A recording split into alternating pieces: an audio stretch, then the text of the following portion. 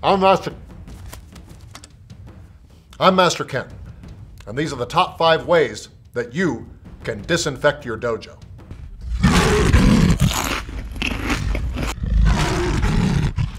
One of the best weapons you can have against an infection is information.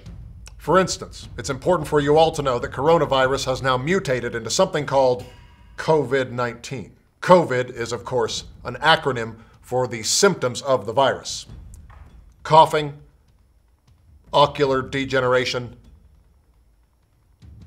vaginitis, Icelandic fever, and diuretic explosion, all of which affect every human being above the age of 19.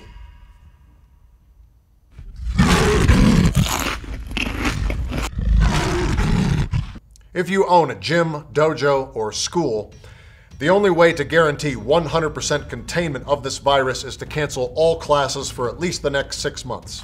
If your students complain that they have no place to train, go ahead and send them over to my dojo. I won't be canceling any classes because I'm not a pussy.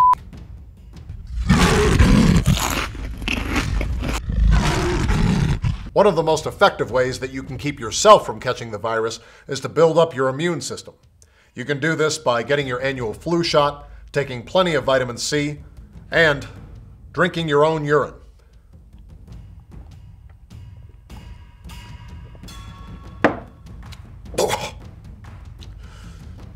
Tastes like asparagus.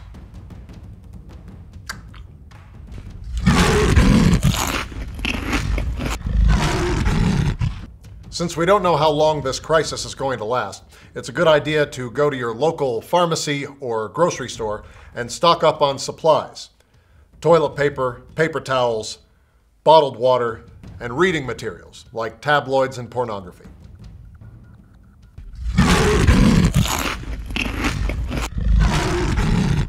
Another thing you can do to keep germs from spreading is to regularly clean anything that you and your students have to touch. For instance, Rubber or plastic training tools can be cleaned with antibacterial wipes.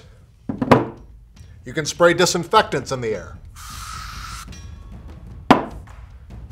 And anything that is metal can be cleaned with fire.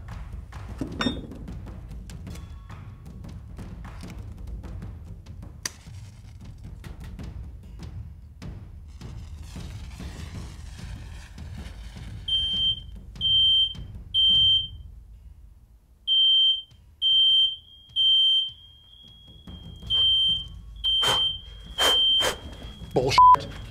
Ah, bullshit. I'm Master Ken, and those are the top five ways that you can disinfect your dojo.